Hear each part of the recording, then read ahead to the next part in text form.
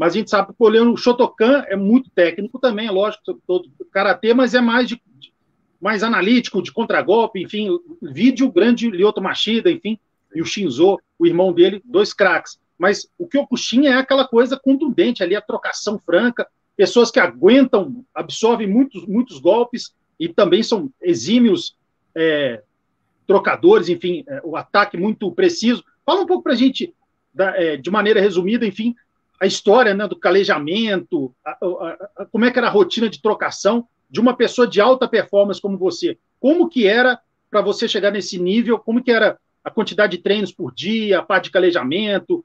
Se tinha uma parte de trocação franca durante o treino? Conta um pouco para gente. Bom, assim, acho que é tudo degradativo, né? Você, quando, por exemplo, eu comecei muito novo, comecei com 11 anos ali, 11 para 12. Então, é tudo é muito gradativo. Você começa no treino, você vai começar fazendo, nós chamamos de comitê, né, que é a luta. E desde aqui, né, golpe bom é golpe conectado. Você tem que encaixar o golpe. Não adianta você bater na guarda, não adianta você bater no ar. Você encaixar o golpe. É o soco, é o chute, né? É, então, desde pequeno, ou desde o faixa branca, né, a pessoa que entra, né, gradativamente ela vai começar a ter esse contato na luta, né, a, a, tomar o soco no peito, o golpe na costela.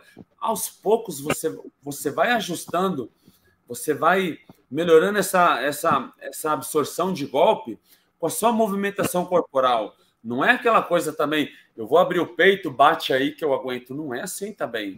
É lógico, como você falou, a gente tem uma, né, atletas quando precisam é, é, determinado nível de campeonato, assim, independente do atleta, você quer passar no campeonato de Team, você vai ter que praticar o calejamento. O calejamento, então, não é aquela coisa, ó, bate aí que eu aguento. Não, você vai começar a tomar as pancadas e começar a, a, a, a tentar absorver melhor esse golpe. Se você realmente não souber absorver esse golpe, você vai se lesionar muito rapidamente. Né? É, a coxa, se você não conseguir interceptar um chute na coxa, se você ficar com a perna parada ou encolher, você vai tomar um chute na coxa, vai, vai te machucar. E você sabe que na luta machucou a coxa, não tem volta. Vai parar de ver daqui a uns cinco dias essa, essa coxa. Né? A costela, a mesma coisa.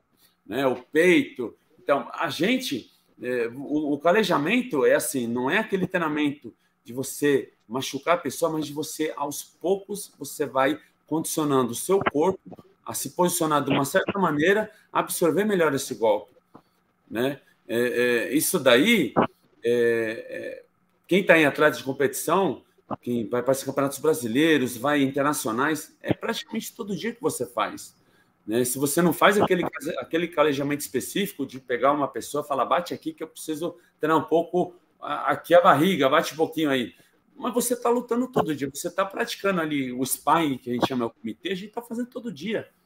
Né? O próprio protetor, para quem sabe, né? É, segura os protetores, é, a gente, é, se você chega num certo nível, o próprio protetor já vai te dando aquela, você já vai aprendendo a absorver aquele golpe ali.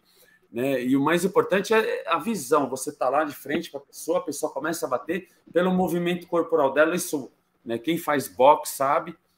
Né? O movimento, como a pessoa movimenta o tronco, o ombro, mexe, né? você já sabe mais ou menos onde vem o golpe. Então, né, não é só o calejamento, mas esse reflexo, essa visão que a gente ganha, né, eu acho que tudo isso daí faz parte. Mas, é, é, é, como você falou, o Kyokushin é muito intenso nessa parte. Né? É, campeonatos, por exemplo, você passando um campeonato, você, você faz seis lutas num dia. Você, você participa de um campeonato brasileiro, como eu já participei, fazer seis lutas num dia. Campeonato Mundial você faz oito lutas em três dias. Né? Então, você não só a parte de calejamento, mas a parte mental também, a força mental né, de você segurar, você se blindar mentalmente, nisso daí é muito importante. Né?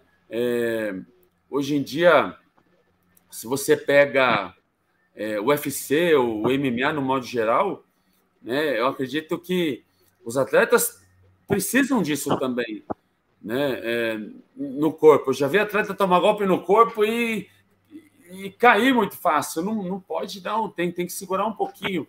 Né? Eu acho que né, um atleta de um, de um nível internacional, de modo geral, tem que fazer, tem, tem que colocar na sua rotina o calejamento.